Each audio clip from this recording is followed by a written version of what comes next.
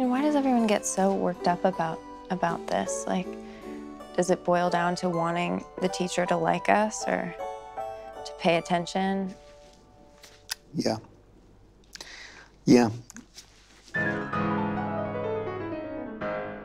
This is the story of a woman cast adrift in the Midwest.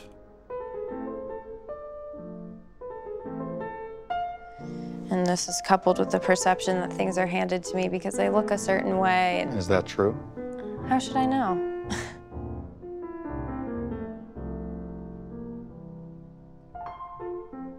I, it's it's dumb. It's really dumb. I shouldn't have. I should shouldn't be bringing this. I don't think it's dumb at all. There's no judgment here. It's, uh, it's a safe space.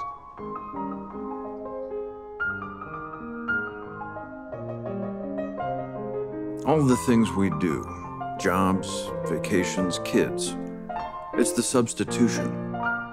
These are the substitutions, and we don't even know what for anymore. She's the one who had sex with her student.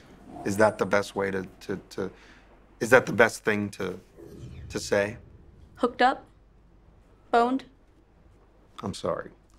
Uh, I, I just don't, I'm sorry, I'm so, I'm so bothered by what you just did. I just don't think we out people here. I don't think it's kind to out someone.